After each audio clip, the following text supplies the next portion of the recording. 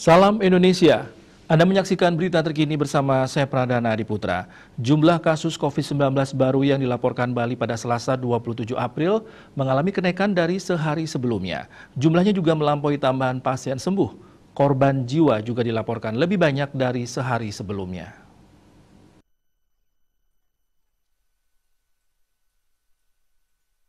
Menurut data Satgas Penanganan COVID-19 Bali terdapat 150 kasus baru sehingga kumulatifnya mencapai 44.236 orang.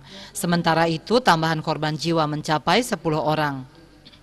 Kumulatif korban jiwa COVID-19 mencapai 1.317 orang atau 2,98 persen.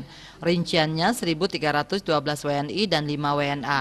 Pasien sembuh bertambah mencapai 127 orang, sehingga total pasien sembuh saat ini sebanyak 41.608 orang atau 94,06 persen.